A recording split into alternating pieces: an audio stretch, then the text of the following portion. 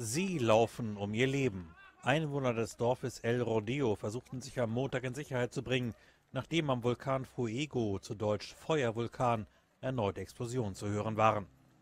Bei einem Ausbruch des Vulkans am Sonntag waren nach jüngsten Angaben mehr als 30 Menschen getötet und rund 300 verletzt worden. Es wird befürchtet, dass noch mehr Menschen bei dem Vulkanausbruch ums Leben gekommen sind. Der Vulkan, der rund 35 Kilometer von der Hauptstadt Guatemala Stadt liegt, stößt Asche und Gesteinsbrocken aus. Das erschwert die Suche der Rettungskräfte, sagt dieser Mann.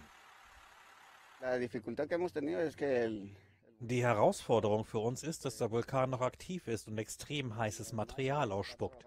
Das macht die Arbeit der Rettungskräfte noch schwieriger, weil das Gestein immer noch herunterfällt, während wir arbeiten.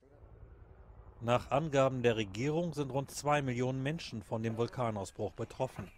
Tausende Menschen mussten ihre Häuser und Wohnungen verlassen und in Notunterkünfte gehen. Es ist der heftigste Ausbruch des Feuervulkans der vergangenen Jahre. Seit 2002 hatte es dort immer wieder kräftige Aktivitäten gegeben.